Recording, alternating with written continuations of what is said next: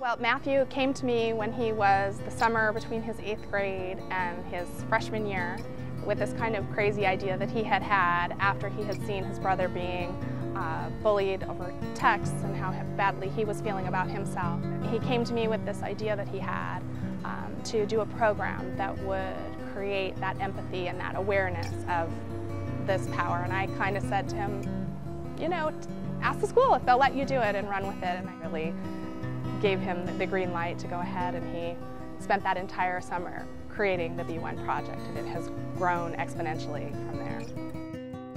So the Be ONE project is an interactive day of games and activities in large and small groups.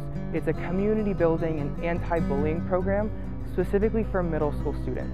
You know, a lot of programs out there focus on high school students, but the Be ONE Project believes that by high school, it's already too late, that bullying behavior has become habit. So that's why we are unique in that we focus only on middle school students. Well, bullying is an increasingly prevalent issue in our society. It's one that's so often unaddressed by school faculty and administration. I mean, there's something like 3.2 million students every year that are bullied. And that number in and of itself, I hope would make anyone think that this is an important issue. But I'm really struck by the way that Matthew came up with an answer to a question that nobody really was asking, and that is, you know, how do you create an awareness at a time when kids are starting to have their own social media accounts and they're starting to have social interactions that are completely autonomous from their parents and their teachers.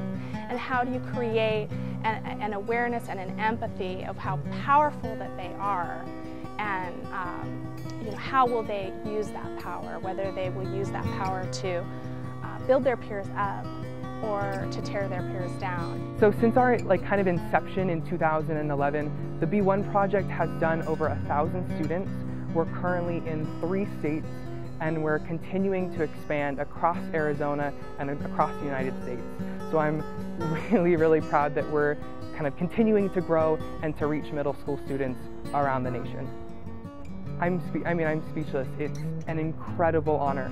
There I'm just so grateful to have been recognized alongside such amazing organizations and individuals doing awesome work in Arizona and to be kind of a volunteer for youth and to be maybe a role model for others is amazing. I never would have thought a few years ago that I would be where I am today, but I'm so grateful to be where I am. I would have to say empathy. Um, I recognize that I'm very grateful to have, you know, a roof over my head, to have food on my table, to go to a school where I feel safe and accepted. But I know that not everyone has that, that there are 160,000 kids every day that skip school for fear of being bullied. And so to me, it's really important to, with volunteerism to be able to put yourself in someone else's shoes and to recognize where they're at and then from there to find a way, any way, to make a difference.